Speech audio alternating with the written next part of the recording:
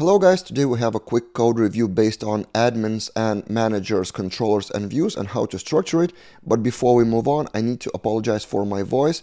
I have some sore throat and no matter how much tea or hot beverages or water I drink, it just doesn't come normal, but I did have a lot of videos planned, so I will shoot them. So for upcoming few videos on this YouTube channel, you need to bear with my voice like this. I do feel well, I don't feel sick, it's just my voice, so I hope it's okay with you. Now the topic, this is the email, and the problem is controllers for admins and managers and views for them, and what is a better way to structure it. Of course, there's not one single way, but I will comment based on the code snippets I received. So this is the situation, simplified, with kind of fake data but accurately describes the situation. So product controller for admins with the namespace of admin, get products, then there's a variable to extend layouts of admin in each of the controller method here, and then there's a route to redirect to admin. So everything is prefixed with admin. Then there's a similar product controller for manager.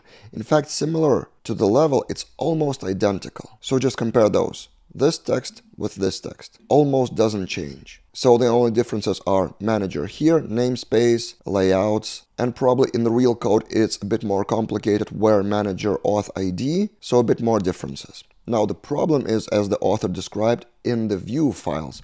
So he separated the controllers, but he didn't separate intentionally the views. So index blade, create blade, and edit blade have if statements in blade. So if admin show this and that, in the edit blade. Similarly, if admin show manager ID to choose from, and in the index blade, if admin then show manager ID. And again, I'm pretty sure in real code there are more if statements. It's just a simplified version of it. And also there's a route helper. Instead of redirecting to route admin products and route manager products, there are functions, global helpers, products index route. So for example, there's product store route, and this helper is used in the create blade form like this. So how would I tackle a similar situation? Again, it depends on how different the real code is, but based on this example, to me, that should be one controller and not different controllers with namespaces.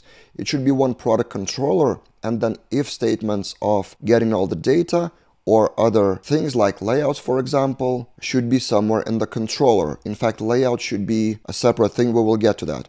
So what I would do is have one controller and this condition of where manager ID could be actually moved to global scope of Eloquent. So if the user is not admin, then in global scope, all the queries related to products are conditioned on where manager ID, something like that. And then you would have one controller, which would load separate views.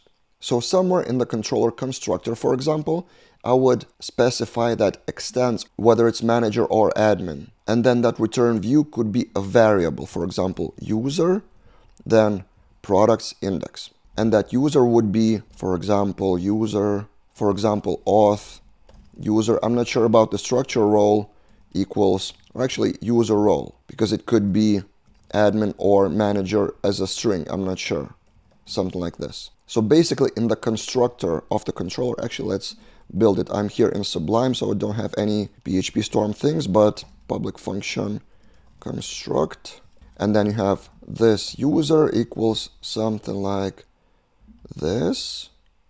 Again, it's a simplified example. And let's have public string. It's not exactly user, it's user type. User type like this. Then we have user type here. And then this user type in all those methods. It will allow you to create one controller but the problem, as author says, it's in the if statements of the blade files, of the views. And that's why I would recommend to have separate views. Because more often than not, the presentation of the data is different for admins, managers, and other roles.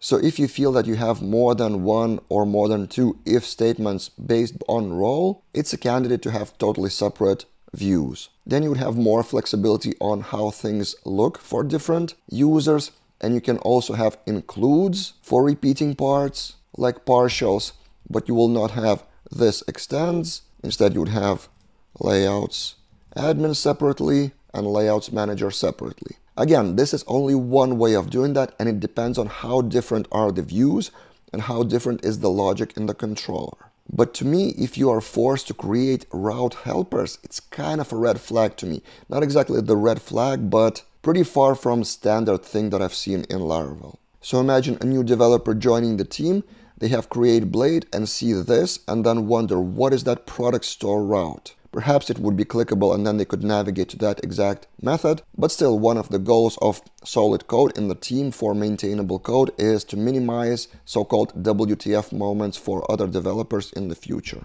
So in my opinion, again, it's one opinion, that route helper should be eliminated in favor of separate views, but probably consolidating the data into one controller with if statements and global scopes because to me, in this example, those two controllers seem too much similar. What do you think? Maybe you had similar situations in your projects. Share your opinion in the comments below.